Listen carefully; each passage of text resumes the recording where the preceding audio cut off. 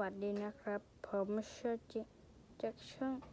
เปโชจิ channel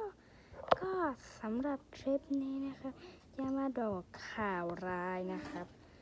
ว่าไอซ์สพัดผมตายไปหนึ่งตัวที่เหลือ ไม่มีเลย จากวันที่เชอเจียเอาน้องมาเปิดตัวเนี่ย พูดเป็นพี่ท็อปเลย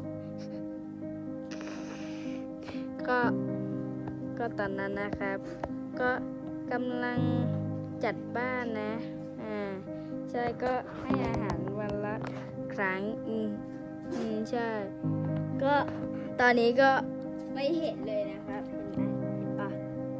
เห็นปะตอนนั้นที่จะดีเห็น ก็ ก็ไม่มีอะไรเลยครับ อืม ใช่ ก็ทำใจไม่ได้นะ แค่นี้นะ ถ้าใครชอบคลิปนี้ก็อย่าลืมกด like share subscribe และกดกระดิ่งนะครับเอออย่างลืมบอกไป เวลาโชจิมีอารมณ์เศร้าๆกับอารมณ์ดีใจดีใจเนี่ย ก็จะแบบใส่สติกเกอร์ใส่อะไรนะครับเวลาอารมณ์อารมณ์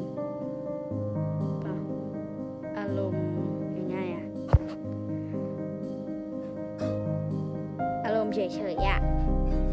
เวลาอารมณ์เฉยๆนะครับ ก็จะไม่อยากไม่ถ่ายสติกเกอร์ไม่เอาอะไรเลยเออเอาแค่ได้ดีอะเออใช่แค่นี้เลยนะครับ ถ้าใครชอบคลิปนี้ก็ไลค์กดแชร์กด subscribe แล้วก็กระดิ่งเลยนะครับ